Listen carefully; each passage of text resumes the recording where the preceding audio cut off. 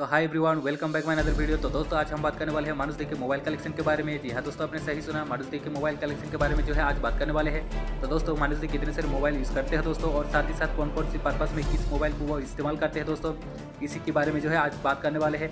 तो दोस्तों, अगर आप इस चैनल पर नए हैं तो इस चैनल को सब्सक्राइब साथ ही बेल आइकन को भी ऑन कर दे, ताकि आने वाला हर वीडियो का नोटिफिकेशन जो है, वो आपको मिलते रहे। तो चलिए दोस्तों, बिना देरी के आज इस वीडियो को शुरू करते हैं। और दोस्तों वीडियो अगर अच्छी लगे तो वीडियो में एक लाइक ज़रूर से कर दीजिएगा। तो चलिए, आज सुन लेते हैं। मानुष डे के मोबाइल कलेक्शन के बारे में। और दोस्त, आज जो है, हम मानुष डे के मुँह से ही सुनेंगे कि वो कौन कौन से मोबाइल और किस किस पर्पज़ में जो है, उस मोबाइल को इस्तेमाल करते हैं। तो चलिए, बिना देरी किस वीडियो को स्टार्ट करते हैं।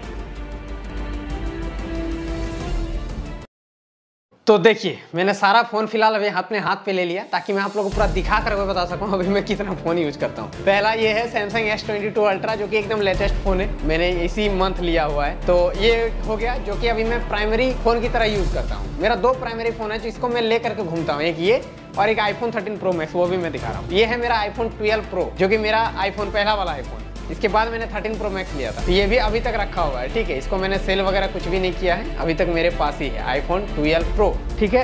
अब यहाँ पर एक और फ़ोन है मेरे पास। ये है वन प्लस सेवन इसको भी मैंने लिया था इसे दो साल पहले। इसको भी मैंने सेल नहीं किया है। ये भी फ़ोन रखा हुआ है। उसके बाद आ गया, ये है वन प्लस नाइन आर इसको भी मैंने परचेज किया था अपना यूट्यूब चैनल को ही मैनेज करने के लिए। तो इसको अभी फ़िलहाल घर पे रख दिया, क्योंकि मैंने एस ट्वेंटी टू अल्ट्रा ले लिया। उससे पहले मैं इसको रखता था अपने साथ। ये हो गया। और उसके बाद लास्ट फिफ्थ नंबर का फ़ोन है आईफोन थर्टीन प्रो मैक्स ये मेरा सबसे प्राइमरी फ़ोन है। ये मेरा पर्सनल नंबर है। ठीक है, इस नंबर को मैं किसी को नहीं देता। और ये एक सेकेंडरी प्राइमरी फ़ोन है। मतलब दो, ये दो फ़ोन में ले करके घूमता हूँ।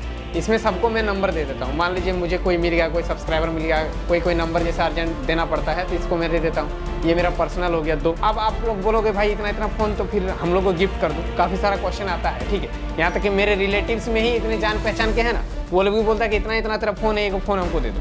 तो देखिए, मैं दे नहीं सकता ये फ़ोन क्यों?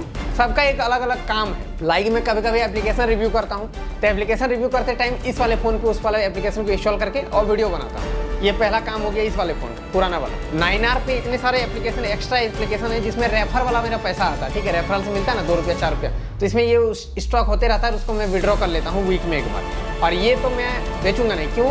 क्योंकि इसमें मेरा एक पुराना एप्पल आईडी लॉगिन है, जिसमें मेरा सारा कॉन्टैक्ट नंबर डिटेल सब कुछ रहता है। इसलिए मैं इसको दे ही नहीं सकता। इसमें सारा मेरा डिटेल पुराना वाला चीज़ डेटा सब इसी में है। तो ये हो गया रीजन ठीक है? और बाकी